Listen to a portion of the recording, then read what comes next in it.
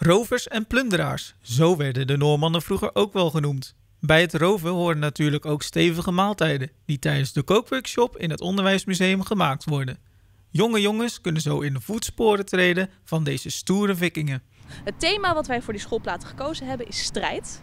En waar de Noormannen bekend om staan, ja, dat, dat is strijd voor een deel. Ze hebben een flink huis gehouden in de middeleeuwen. En dus dat past heel erg goed uh, bij het thema dat wij hebben voor de expositie.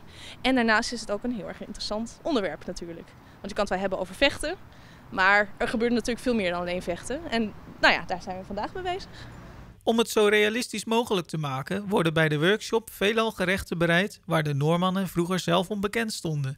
Dat varieert van diverse stukken vlees tot knolgroenten. Nou zijn we nu voornamelijk aan het snijden heel belangrijk. Al die knolvruchten moeten, moeten in stukjes gehakt worden. Dus uh, daar zijn ze nu mee bezig.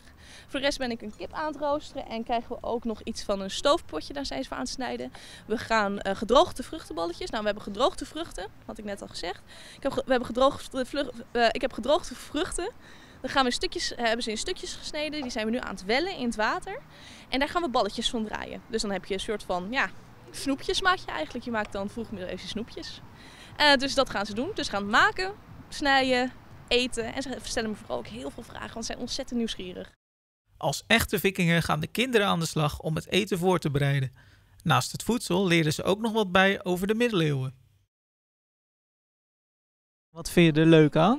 Uh, dat we allemaal dingetjes zelf gaan maken en straks ook opeten. Wat ga ik ermee doen? Want en lijkt het je allemaal lekker? Ja. Alleen ik hou niet zo van die gedroogde pruimen. Dus je gaat alles eten behalve de pruimen? Uh, ik eet die ook wel op hoor.